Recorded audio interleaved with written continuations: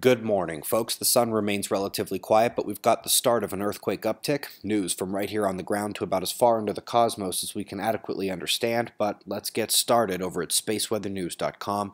Find the last 24 hours on our star were quite calm once more. Equatorial coronal hole of the north out ahead scouting the way for the rest about to come over the eastern limb on the left, but what's not incoming is sunspots. Left side is blank, so could be the entire sun once these groups finish turning away. Solar wind has continued to slowly calm as we await another coronal hole stream impact in a few days.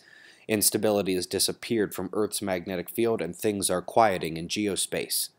The next coronal hole stream I mentioned is coming from that central opening, about three days until it gets here, but before that we ramp up the earthquake watch. While no six pointers have struck yet, that is a rare location rumble. This is much more rare than six magnitude events across much of the Ring of Fire. Watch peaks for 36 hours and wanes another 24. Let's jump way, way out now to the Rotten Egg Nebula. They say it's a star shedding its outer layers in spectacular fashion. I see more basically the magnetic opposing flows ringed by a torus in the middle. The system is likely moving right to left, which messes with the size appearance as well.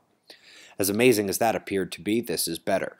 Pulsar Wind Nebulas looking an awful lot like a planetary magnetic field blown back by solar wind. Chandra looking in X-ray and infrared to reveal similar structures seen at different angles from our point of view.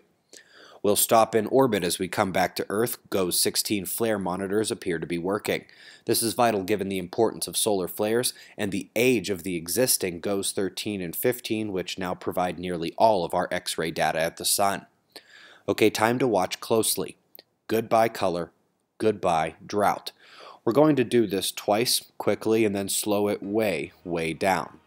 Folks, these are some of the official continental U.S. drought monitors starting back in November.